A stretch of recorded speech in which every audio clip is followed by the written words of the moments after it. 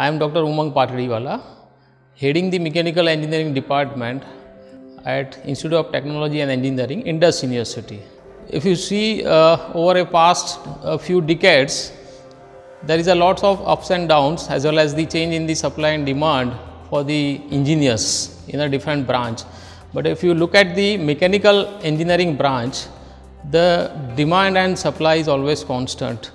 There is a branch mechanical engineering which is known as the evergreen branch.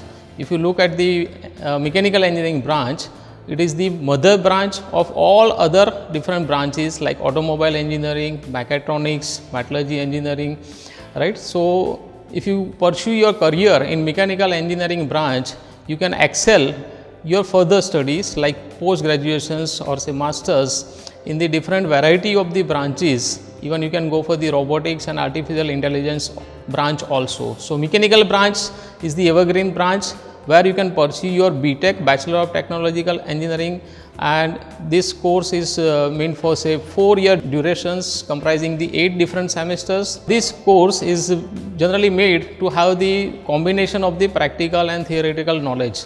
Mainly you will study different subjects uh, like uh, robotics, the advanced subjects like robotics, 3D printers. You can study the various 3D modeling softwares also of mechanical branch itself. You can go for the artificial intelligence combined with the 3D softwares as well as the robotics subject also.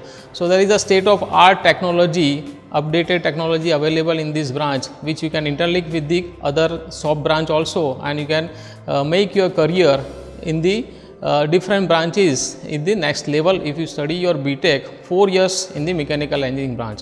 Hence, uh, you can assume that mechanical engineering branch has the lot of uh, scope and it has the wide variety of the uh, different specializations are also available. If I give you example, say like you can pursue your branch, uh, you can your career in mechanical engineering maybe in uh, say design engineering you can be a mechanical engineer but design engineer. You can excel your uh, career in say thermal engineering where you are dealing with the power plants and the lot of energy sectors. As of now you are aware that you are having the lot of alternate energy sources uh, in the market. You can excel your career in the production or say manufacturing where all the industries whether large industries or SME small scale industries are related with the soft floor productions, batch production, mass production. So, they are related with the engineering of course say production or say manufacturing. So, there are variety of the uh, sectors, sub sectors of the mechanical branch where you can make your career. Not only that, it is not only that it is a blue collar job, but mechanical engineers do get the white collar jobs uh, being pursuing in the design engineering field uh, having the role of design engineers as a you can say software engineers sitting in the say AC cabins working on the softwares and they can make their career uh, in the design engineering field which is definitely a white collar job. Hence mechanical engineering branch has the wide uh, scope uh, over the years. Dear friends, uh, mechanical engineering branch mainly deals with the practical aspects more is the practical and less is the theory. Whatever theory you study in the classroom that has to be converted into the uh, practicals or say working or non-working models. So, if you see uh, look at this branch we have a number of uh, projects minor projects as well as the major projects. Uh, in the first year, second year and third year we generally go for minor projects. Uh, we deal with all the kind of the machinery also and in the final years we go for the major projects of say one year durations uh, where the students in a group or individually with the help of the industries and the internal faculty guide they develop the various models working models non-working models.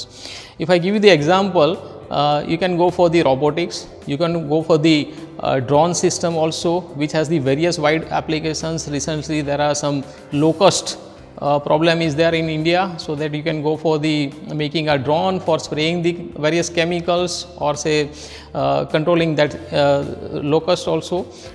So, you can go for the NC CNC machines where generally we go for the customized job productions with the help of the softwares having say G codes and M codes and that gives you lot of uh, good accuracy and the precisions for cutting the jobs and it reduces the human efforts also as well as it it's very precise. Now, whatever uh, practical workshop uh, jobs you are carrying out that actually helps you in uh, making you uh, acquiring the practical knowledge as well as it helps in the placement.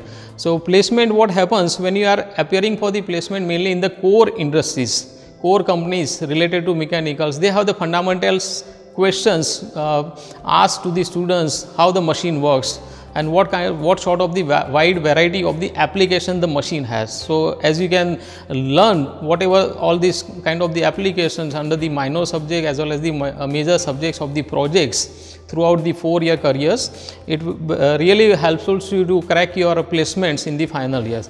Apart from these uh, routine jobs, which is the part of your curriculum, you can also go for so many other things like we have the robotics clubs also, we have the automobile clubs also, we have the uh, HVAC uh, heating, ventilation and air conditioning refrigeration system club also that uh, trains you practical aspects, how you can prepare the like air conditioning systems, uh, how you can prepare the robots, how you can make the drone, how you can prepare the IC engines modified or say works on the hybrid fuel system also.